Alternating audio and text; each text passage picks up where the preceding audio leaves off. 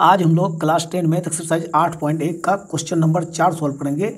यदि पंद्रह cot A बराबर आठ हो तो साइन ए और सेक ए का मान ज्ञात कीजिए। इसके सोल्यूशन के लिए सबसे पहले हम एक समकोण त्रिभुज का निर्माण कर लेंगे। इस समकोण त्रिभुज में ए बी सी ये हमने दर्शा दिया है। क्योंकि देखिए यहाँ पर कौन है? कोट ये साइन ये सेक ये तो इस कोण को हमने ये मान लिया, आप यहाँ भी मान सकते हैं। यहाँ यदि ये मानेंगे तो यहाँ आप सी ले लेंगे। चलिए बी के सामने का भुजा कर्ण होता है। ये कर्ण कहा जाता है, जिसको एच से सूचित किया जाता है। और जिस कोण को लेके आप क्वेश्चन को सॉल्व कर रहे हैं, उस कोण को आधार यानी बी कहा जाता है। ये आधार है बी है। अच्छा इस कोण के ठीक अपोजिट सामने में जो भुजा है बी सी इसको लंब या पी कहा जाता है। लंब लंब या पी कहा जाता है इसको। तो चलिए अब हम लोग क्वेश्चन को सॉल्व करते हैं। प्रश्न में दिया हुआ है, दिया हुआ है। क्या दिया हुआ है? फिफ्टीन कोट ये बराबर आठ है तो कोट ये बराबर आठ बटे पंद्रह हो जाएगा, चूँकि ये पंद्रह गुना कोट ये पंद्रह कोटे का अर्थ है पंद्रह गुना कोट तो ये पंद्रह ऑटोमेटिक नीचे आ जाएगा। अच्छा कोट ये का मान आपको आप यहाँ से निकालना है। कोट ये का मान, देखिए टेन ए का मान होता है पी बटे बी तो कोट ए का मान हो जाएगा बी बटे पी बी बटे पी तो बी बराबर हो गया अच्छा बी बटे पी बराबर हो गया आठ बटे पंद्रह, यही कोट ए का मान हमने यहाँ उतार दिया है। बी बराबर आठ हो गया पी बराबर पंद्रह हो गया, देखिए बी बराबर हो गया आठ पी बराबर पंद्रह एच का मान आपको निकालना है।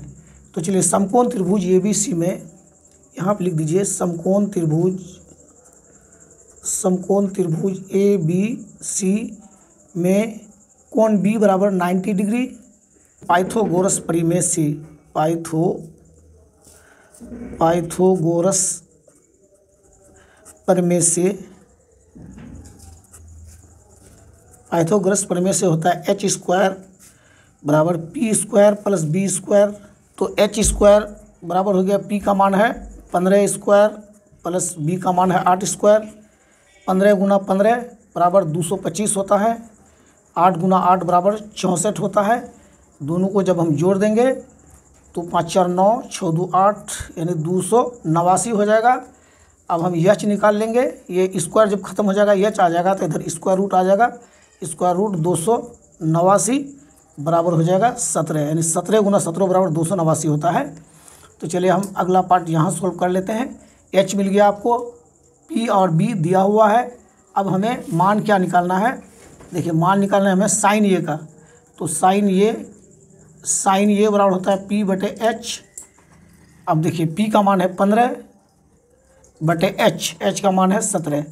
उसके बाद निकालना है सेक ये सेक ये बराबर, देखिए कॉस का उल्टा सेक होता है। कॉस ये होता है बी बटे एच तो सेक ये बराबर हो जाएगा एच बटे बी एच बटे बी एच का मान है यहाँ से ले लेंगे हम सत्रह बटे बी का मान है आठ ये सत्रह बटे आठ, यानी ये पंद्रह बटे सत्रह, ये सत्रह बटे आठ, यही दोनों आपका आंसर निकल गया।